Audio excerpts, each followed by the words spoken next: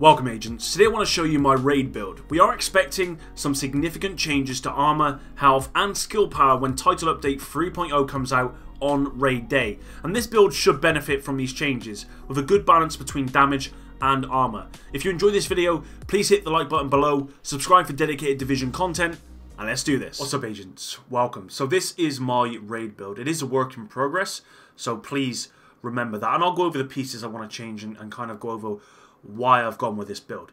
So firstly, as you can see, I've got an LMG, I've got a rifle. This is kind of a mixture of LMG and rifle build. Uh, the pieces wise, we've got two-piece Overlord giving us plus 10% rifle damage, plus 7.5% total armor. Um, and we've got it on the chest and the knee pads here. Uh, we've got a Gila Guard mask giving us plus 5% total armor.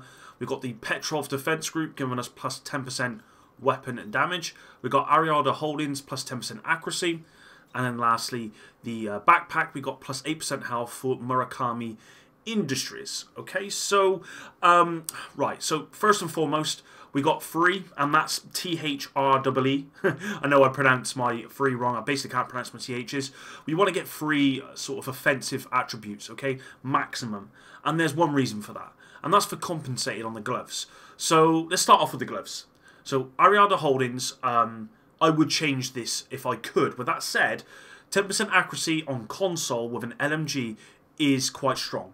Okay, is it the best? No, but then again, Badger Tuff doesn't give you any talents, I don't believe, so I wouldn't be able to get compensated, and this gives you damage to elites. You could possibly run Murakami Industries on here and then run something different on the backpack, perhaps, and you can switch and change it. But for right now, we're running this, okay? And um, so on here we got compensate, which gives you 15% um, weapon damage when your critical hit chance is lower than 20%. When you're running LMG, your crit chance is pretty much always going to be lower than 20%. And with this build, because it's a balance of damage and armor, then what you're going to be wanting to go for is weapon damage, okay? That is the stat you want.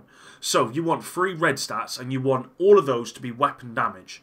Okay, so um, actually, well, aside from the mask, actually, so you want two pieces weapon damage, one piece um, you want damage to elites. And with the gloves as well, what you want is one main attribute. And the reason why is because it rolls a lot higher. It rolls like double if you had two. For example, let's look at these gloves here. So we've got health and then we've got plus 2% rifle damage. And I believe that rifle damage could go up to, say, 5-6% maximum. Alright, so what you'd want instead is the plus 11% LMG damage. Unless, of course, you really wanted to go LMG rifle, and then you could possibly go for something like health, plus you could have 5% rifle, da sorry, rifle damage or LMG damage, and then devastating, okay, which gives you weapon damage, which means you could use both. But I would say that compensated is possibly the best talent when you've got low crit chance um, in the game for gloves, and perfect with the LMG. So recommend you get that, and as you can see, it only allows you to have three red stats or offensive stats. Okay, so um, so that's the reason what you want free. Now you want seven or more on the chest piece, and we'll go into the chest piece here for Unstoppable Force. So, Unstoppable Force, killing an enemy grants 2% weapon damage for every 10,000 max armor. That means that with this, I get about 44% extra uh, armor, oh sorry, damage, weapon damage because of my armor. So you want to be getting as much armor as you possibly can with this build to synergize with this particular talent. And I would make changes here. Okay, so get rid of crit chance, keep bonus armor, put on health, okay, and then have weapon damage. You want weapon damage here. You want weapon damage or some sort of damage on your uh, your gloves here, and then you want damage to elites on your mask. That's where you're gonna. I think that's where you're gonna get the most value. The only thing I can change, what you might want to change, is you might want to run weapon damage on the backpack and not run damage to elites. But when you're getting 45% damage to elites on a, on a mask, I think that's more than worth, uh, you know, a couple of percent of weapon damage, definitely.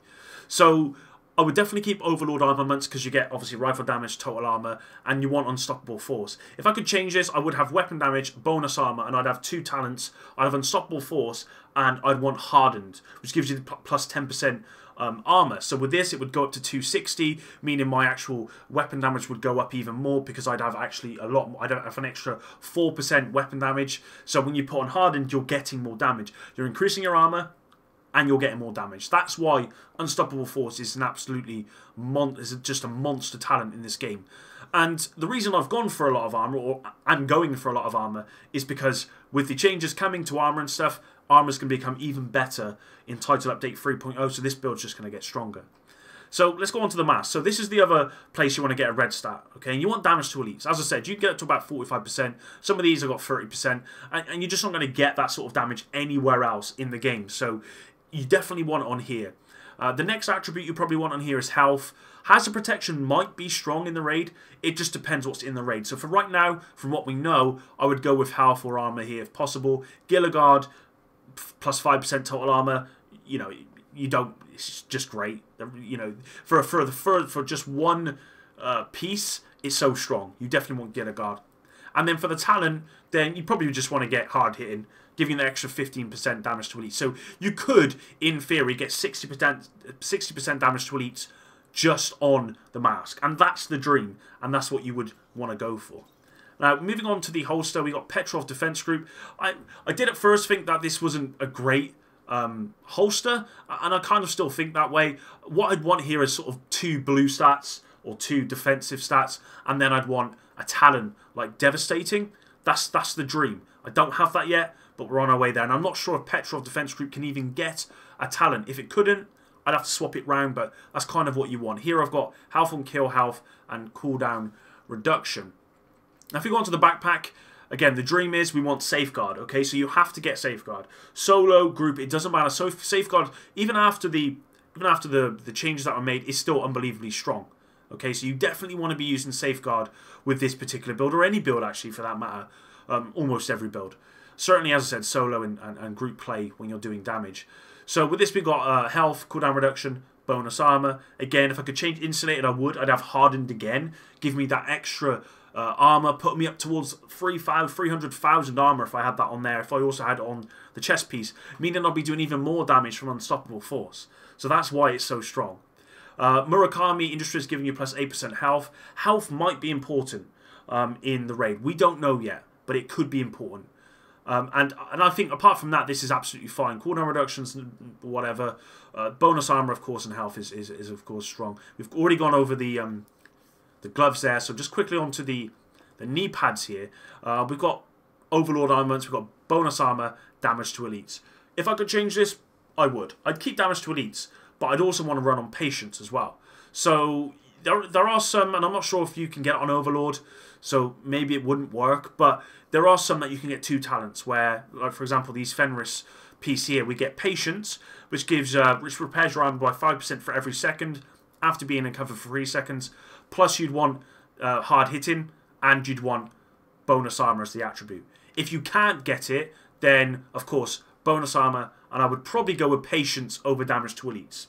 Okay, so you're going to be in cover most of the time in the raid, I imagine. Certainly with an LMG, because in um, in cover that's where it's just much stronger. Certainly on console to aim in cover. So just being in cover and getting that armor back 5% uh, every second. After 20 seconds, you can have your armor back fully.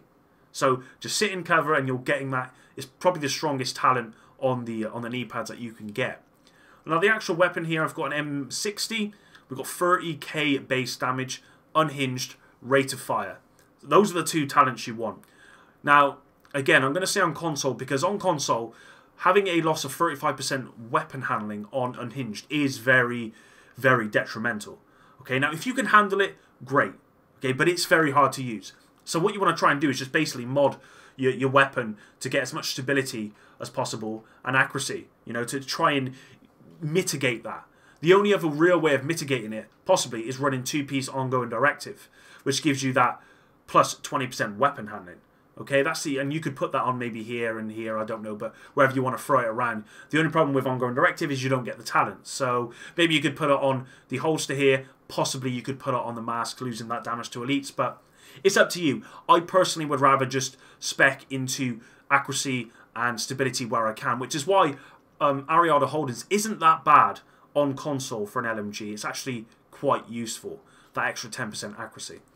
So that's the uh, that's my main weapon. My second weapon is my rifle, my MK17. This has got Optimist, which gives you uh, plus 3% weapon damage for every 10% ammo missing from the magazine. This has also got stability, making this MK17 very, very accurate. And actually, um, the if I could increase the accuracy on this, I would. And I possibly could, but I don't know if stability is more important than accuracy. Do you know what? We're putting accuracy here. Stability is very important, of course. You don't want to be bouncing everywhere. But that said, I think accuracy is also quite important. Uh, I'll just keep stability on it. I've tried it out this way, and it's very strong. So I'm going to keep it this way. And again, this rifle is really, really, really strong. Uh, we've got Overlord armaments giving us extra 10% damage for this. And if you can run compensated, maybe on here, so if you can run compensated giving us that weapon damage, it applies to the M60 and the rifle. So that's really, really strong. And again, you're just going to want to mod this for accuracy, stability, and on my uh, on my magazine here, I've got plus 10% rounds. And then lastly, for the uh, for the pistol here, then what you want is the talent. And I can't remember the name of it, but it basically gives you extra armor whilst in cover. I think it's extra 10% armor. You want that. That's what you want to go for. So that's the build, really. Now we're going to go look at the specializations because this is important and you need to make a choice. And I'll tell you what my thinking is. So I've gone with Demolitionist, which is the obvious one. And reason it being obvious is you get plus 50% LMG damage. So, you know, that's, I mean, that's a lot. Uh, that's basically the uh, the glove talent just from the specialization. You know, very, very strong. Now, you might want to consider Survivalist because you get 15% increased outgoing healing, 15% increased protection from elites. You don't get the extra 15% damage, but you get that instead, which is a lot.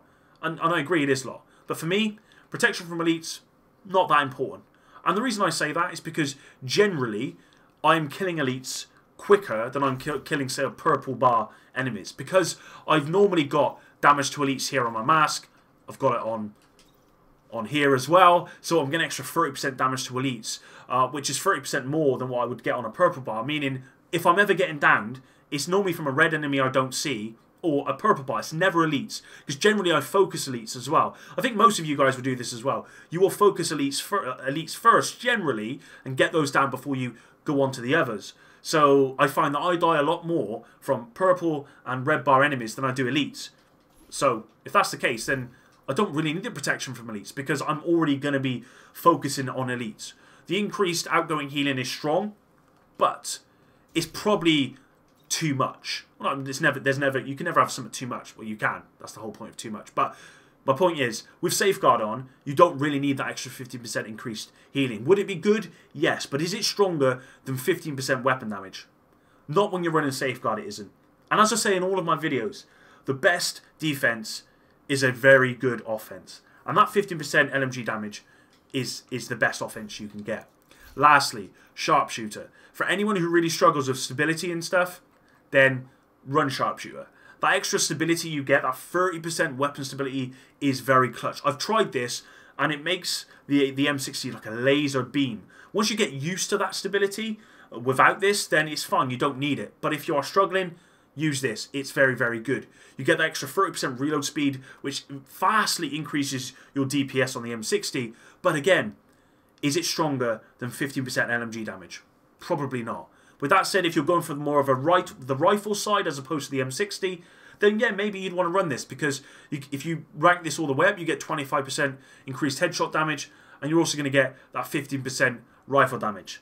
But that said, if you're running on console, hitting headshots on um, a rifle consistently is fairly hard. So you're not going to get a lot of value out of that unless you're very close. And generally, you're not going to be that close with a rifle, so you don't get a whole lot of value with that. So for me, I'm going to be running Demolitionist for 50% LMG damage because that's where I'm going to get the most value from what I can tell. So there you go, guys. Hopefully you did enjoy this video. Hopefully you understand where my build is going. As I said, this is more of a blueprint rather than a this is my build and this is what I'm going to be running. Um, this build is only going to get stronger in the patch. Now, I don't know what the patch is going to do, but all I know... Sorry, not the patch. The update is going to do. But all I know is that they're going to do more with armor and health. Health and armor is going to become more important. So it and we know the devs, all right? So what they're going to end up doing is going too far one way, meaning armor and health are going to become meta, and that's what you're going to want to run. And also, what they're also going to be doing is reducing the time to be killed from NPCs. So armor and so you're actually going to be able to take on more bullets. So yeah, I think this build's just going to get stronger. We'll have to wait and see. Hopefully you enjoyed this video. If you did, drop a like. It really does help me out. And until the next one, guys, Epic out.